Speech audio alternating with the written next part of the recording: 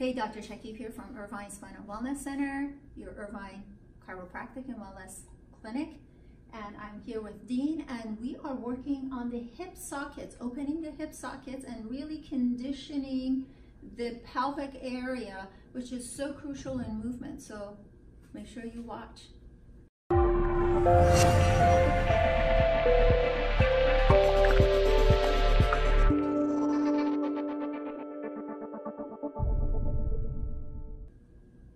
Thanks for watching. Let's begin. So uh, this is just basically a sample a sample video of what really happens in the office for certain cases. So uh, Dean, in this case, we're going to be um, sitting with our hips right here, stacked on top of the knees, and we are engaging our core. So we're pushing the fingers out, metaphorically speaking. The bar barrel is engaged. So what I want you to do is instead of leaning, that's I think it's best if you're over here so people can see also what Dean is seeing. So instead of bending this way to bring this leg up, I want you to maintain as if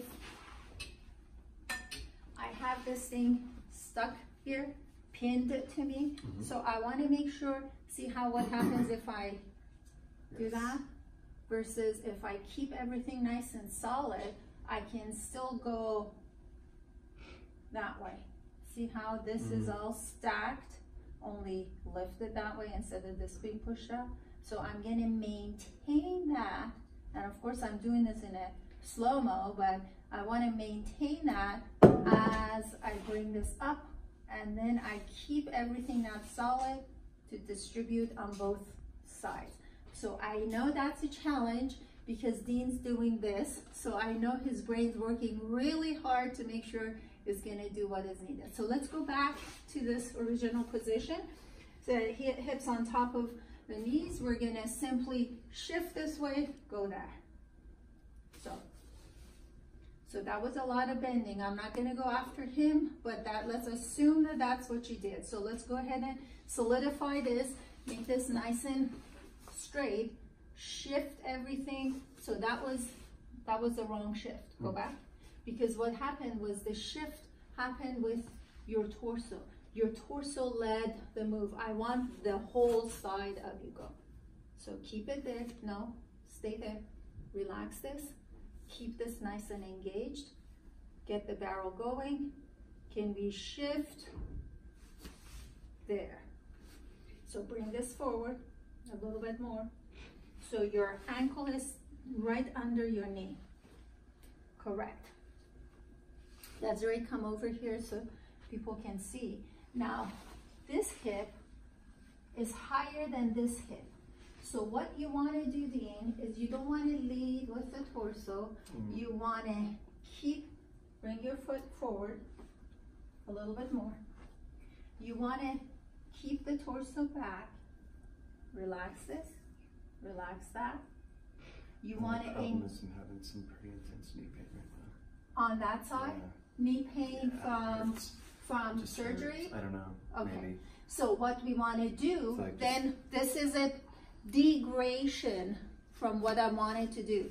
Dean just said that he was experiencing too much pain, which kind of makes sense because this is going to require a perfect stretching of the quad while you're not allowing the quad to have any help. So that is gonna yank on your knee quite a bit. So that just means that we're gonna go back one step. We're gonna do this now, Dean. We're gonna keep this here. Okay. Stack on top of the knees. We're gonna go into almost the seven month pose.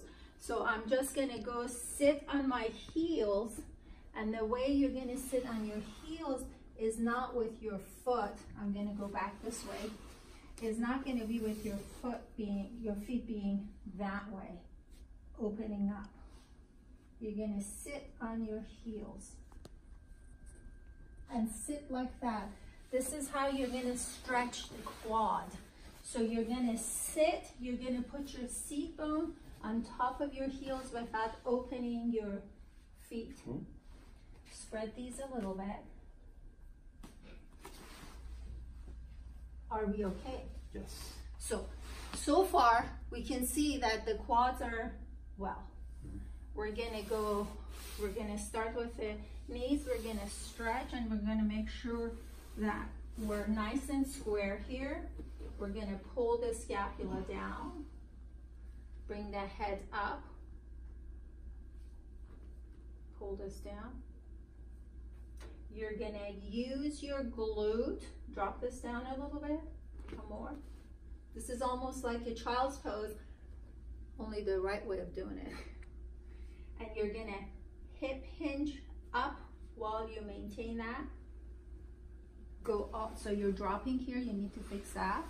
You're gonna maintain that and go forward into the six month pose. So bring this up, not from here, Dean, from here. Bring your neck up, drop this, up. You're gonna go into the six months, so you're gonna drop that and bring your the six month six month pose is this one.